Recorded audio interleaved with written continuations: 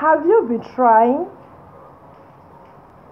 Have you written down all your dreams? Were you, be, were you supposed to be taking them by now? And what is happening to us? Hello there, it's Tonya. I did a video some time ago, some days ago to be precise. You know, trying to use the wrong key to get uh, the door opened.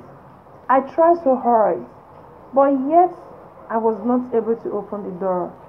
Not that the key was bad, but that key wasn't meant for the door. So the same thing applies to our situation. Sometimes we try to do the wrong thing at the right time. It doesn't work that way, no matter how hard you try. You have to do the right thing at the right time, then you get the results.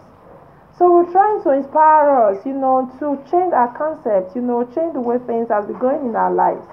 And if you do that, definitely you have a very beautiful result. The year is coming to an end. You know, so many of us might be disappointed waiting all right now, but that doesn't mean you should give up. One thing God, one thing we don't understand, you know, about God is um, God doesn't work with emotion.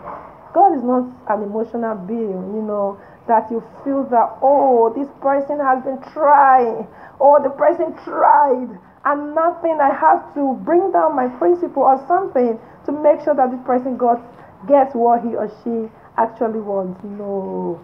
There are there are laid down rules and you must follow it to get exactly what you want.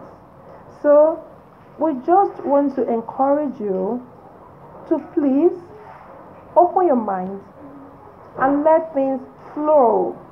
Thank you please like my social media platform that is displayed on your screen as soon as this video is posted. I still remain Estetonia, your girl.